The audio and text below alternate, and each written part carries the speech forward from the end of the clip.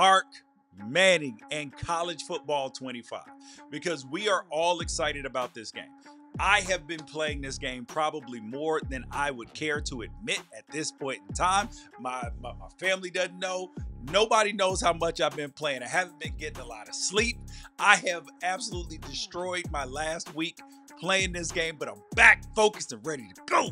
I let my nostalgia get to me. And I made a video about this last week. You guys can go check it out on Unafraid Show and make sure that you guys like, subscribe, tell a friend, everything in between. Played the game way more than I should. And I told you guys that this is what us old people were gonna do. We were gonna go back in time and feel good, and the nostalgia was gonna hit us.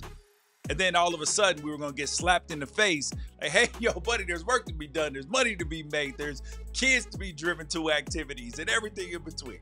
So back to regularly scheduled programming. And that's what happened with Arch Manning because Arch Manning lied to us. And I told you guys so. Told you guys so. Remember when he said that he was not going to be in the game? And it made me laugh because he said, well, via his representatives, that he was not going to be in the game because he wanted to concentrate on football. And I'm like, concentrate on football? How is taking your 600 bucks or whatever you negotiated for an additional marketing fee. Why is that not focusing on the game? Well, here we go. Arch Manning, according to reports, got in between fifty and sixty thousand dollars to market NCAA 25. Oh, so what? Huh? So that brings up two parts. There's two parts to this question. Why was NCAA so gung ho on Arch Manning and Eli Manning doing that commercial together.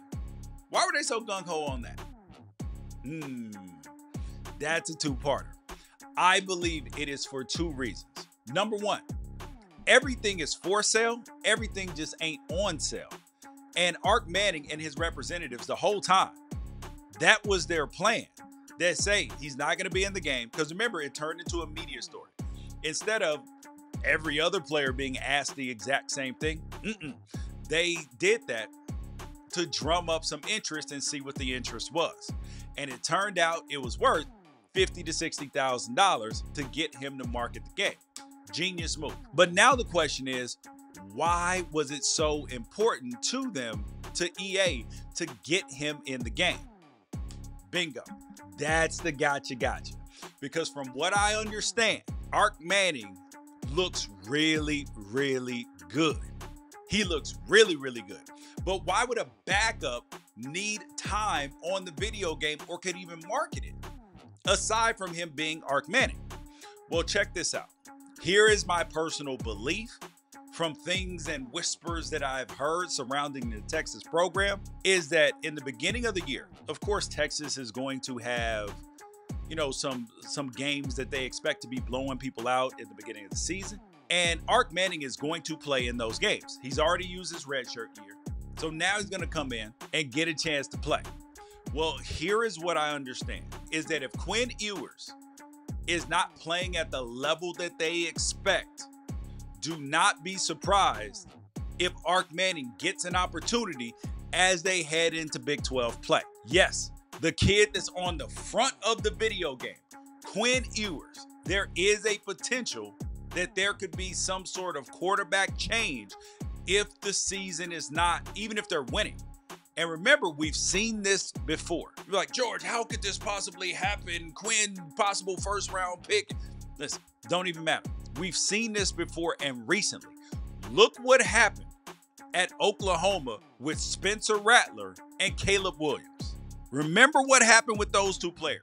Spencer Rattler was talked about as a potential first round pick, and he clearly is an NFL player. He got picked later, and he got replaced at, as a freshman while Oklahoma was still winning. Same thing happened at Clemson when Trevor Lawrence took over. They had just been to the national championship, I believe, the year before. And then you put a freshman in? Why though? And the same thing happened at the University of Oregon. Darron Thomas took Oregon to the national championship against Cam Newton. And the coaches at that point in time knew and informed him Marcus Mariota would be competing for the starting job next year and that they thought that he could win it. And that's why Darron Thomas left with a year of eligibility going on. And Marcus Mariota, obviously storied college career, So this is not new. And this is what I want you guys to watch out for because this could potentially happen.